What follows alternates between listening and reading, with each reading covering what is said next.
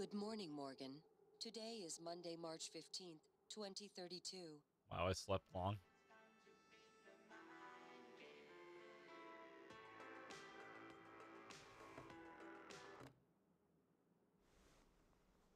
This game's spoopy. I never actually. I only remember this from like E3. They showed this at E3. Hey,